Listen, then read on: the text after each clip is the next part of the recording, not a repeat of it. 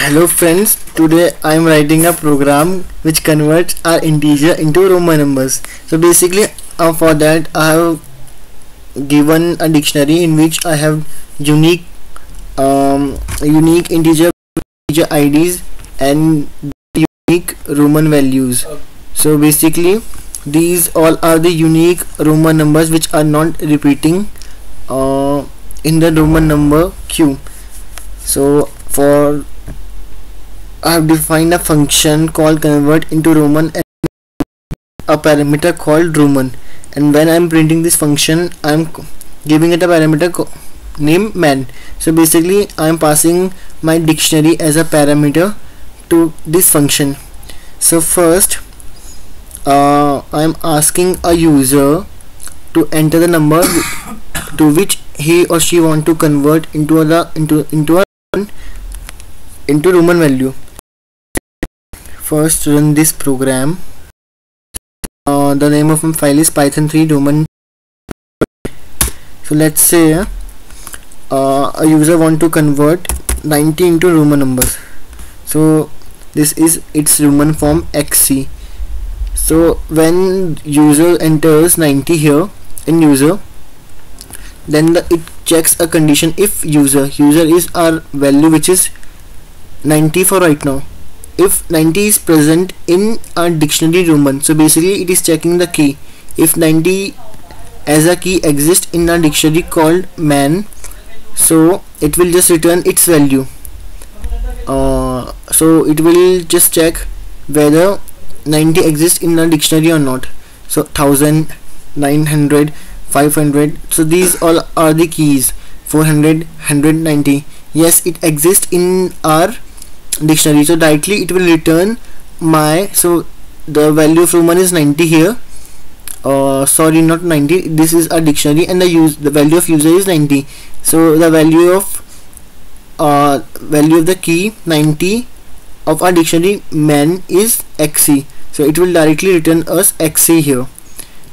So run this program. If user wants two Roman numbers. So it Roman numbers so you can see that 12 exists in a study called man. 1900 500 400 50 50 40 10 9 4 1 so 12 exists a key in a then this condition will not be true then then it will go to else condition. So first of all it will create a roman string as an empty string. Then again it will run it will again run a loop in roman in a dictionary called man. So uh, basically it will run a run a loop in a dictionary called roman. So the value for i will be a thousand and again I am running the same loop for the Roman because I will tell you tell it to you later later on. Then again it is checking a condition for currently the value for B is 1000 okay friends?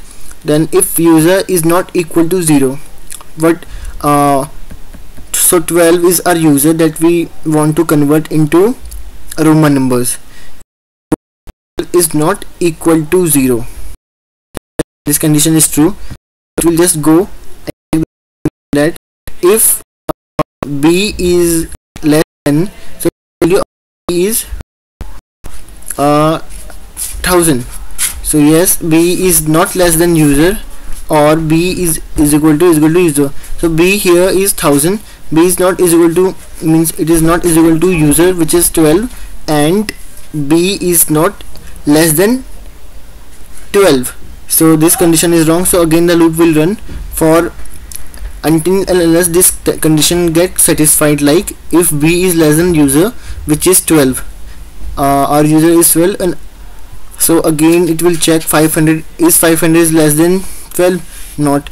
Is 400 is less than 12 or equal to 12 not is 100 is less than 12 or not is 90 is less than 12 or not is 50 is less than 12 or not. So all the conditions are here are getting unsatisfied so again this will check for the same for 40 then again here 10 is 10 um, this key is less than user or not? Yes this condition is satisfied here.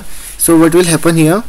Um, the value for a user will be so what is the current value of a user that we entered 12 and the value of user will become or get updated to 12 minus b. So what is the value of b? Which is less than 12 so the 10 so 12 minus 10 will be equal to 2 so for right now the value of user will become 2 and uh, in Roman string we will append the value of our b which is a key in our dictionary called Roman. So what is the value of b? So what was our b here? 10 so the value of 10 was x.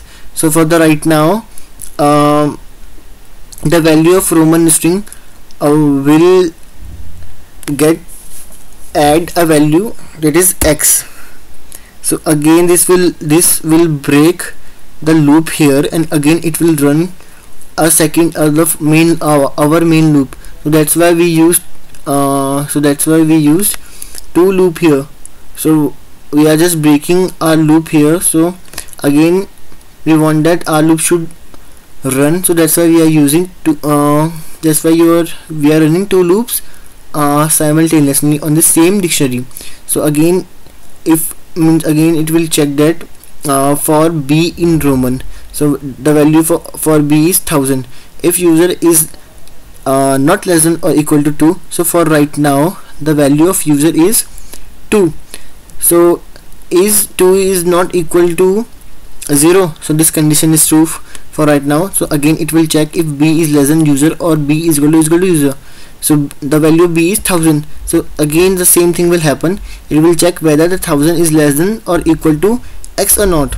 So here 1000 is not 900 is not 500 is not 400 is not 100 not 19 not 15 not 40 again not 10 again not 9 again not 5 again not and 4 here also the condition is not satisfied. So again 1 so it will check that yes the well uh, the key 1 is less than 2 so again what it will do it will just minus uh, the value of user will be user minus b.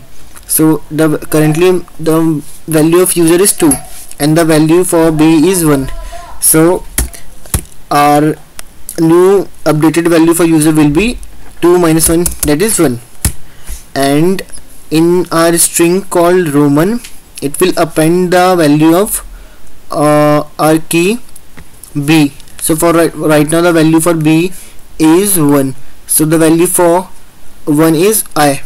So again in x x is already already is the value of our call of our roman string. So again it will append or it will add i to x. So again the loop will break and it will go here. For again the same thing will happen. It will again check if user is not equal to 0 so our user is 1 so again this condition satisfy here. And again it will check if b is less than user or b is equal to is equal to user. So for our means for current currently uh, or presently the value for b is 1000 so this condition condition is not satisfied. Again the loop will go here and the value for b will become 900 same thing will happen. This condition will not won't be satisfied. Same here then it will check here 400 190 50 40 10 9 5 4 and it will reach here 1 so this condition will be satisfied here. When it will reach to 1 that yes b is, is equal to is equal to user. For for presently the value of user is 1 and the value for b is 1 so this condition is again satisfied and the value for a user will become user is equal to user minus b. So 1 which is the current value of user minus the value means the key 1 1 minus 1 so which is the which becomes with which uh, the value of user becomes 0 and the roman string plus is equal to roman uh, b.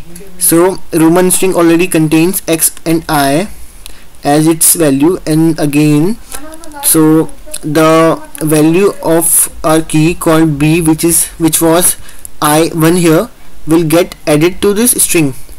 So what is the value of b here? Uh, uh, i. So again when i will i will be append i will be added to this roman string value and the loop will break here.